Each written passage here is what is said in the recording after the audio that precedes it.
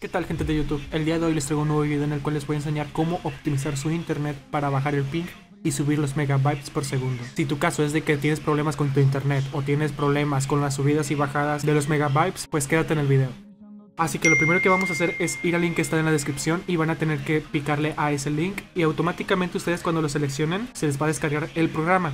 Una vez hecho eso, ustedes lo tienen que abrir como administrador yendo a la carpeta, le pican aquí, clic derecho y ejecutar como administrador. Y una vez que haya cargado tienen que copiar la configuración que yo tengo ya que es la mejor que pueden tener. Ok, una vez estando dentro del programa lo único que tienen que poner es ustedes pasarlo de 10 a más de 100 megabytes que esto prácticamente lo que va a hacer como dice aquí es maximum speed of internet connection. Lo que hará es de que les quitará el límite y podrán aprovechar el internet con su máxima potencia. Así que lo único que tienen que hacer es ponerle en custom el adaptador pues seleccionan el que ustedes tienen y ustedes van a tener que copiar todas estas configuraciones TCP normal windows disable congestion ctcp resave site scaling enable enable Aquí lo ponen en 64, Disable. Esto también lo ponen en Disable.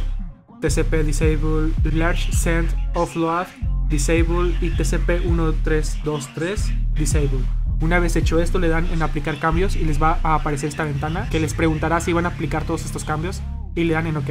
Una vez que hayan aplicado les va a preguntar si quieren reiniciar y ustedes lo que tienen que hacer es darle en no ya que vamos a seguir con la configuración. Ok, a mí me parece de que si quiero reiniciar le ponemos que no y le damos en Advanced Settings. Una vez hecho eso, seleccionan el primer valor y le ponen en 10, también aquí 10, Local Priority 4, Host Priority 5, DNS Priority 6, Net BT Priority 7. Ahora en retransmisión van a ponerle 2 y en Non-Stack RTT Resiliency lo ponen en Disable. Una vez hecho eso, Timeout de retransmisión lo ponen en 2000 y el mínimo lo ponen en 300. Cuando ya hayan hecho eso, ponen este valor en 0 si es que no lo tienen en 0. Do not use NLA lo ponen en Optimal. En el apartado de Gaming lo tienen que poner en Disable y Gaming. Una vez hecho eso, van a pasar a las siguientes. Ponen Disable, Enable, Disable, Default, Default, así como aparece aquí. Y el Max User Port 65534.